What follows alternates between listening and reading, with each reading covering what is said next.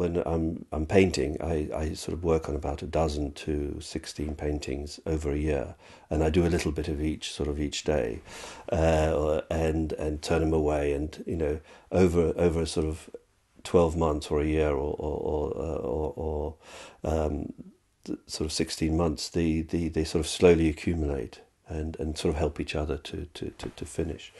Um, and I thought I couldn't really work on the drawings like this. They had to be done much more sort of systematically.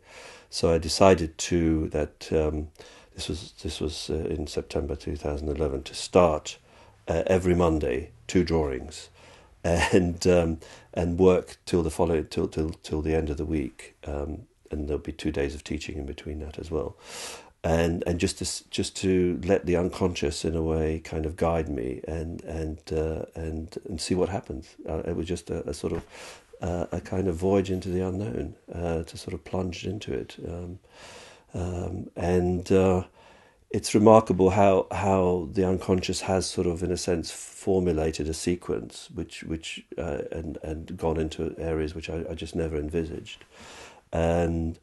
Um, I mean, this was without sort of looking at each each each week. I would just sort of finish them, put them away. Um, obviously, they would be sort of there somewhere in the back of my mind.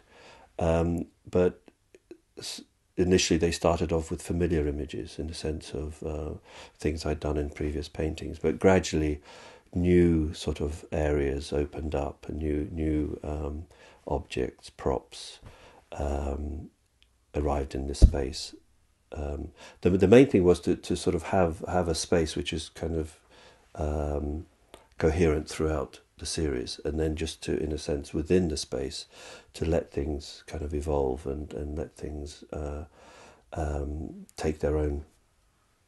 Let the props sort of, in a, in a sense, be the actors and, and see where they went, and and, and all sorts of um, things uh, came, which which I was it was a complete surprise. Yeah.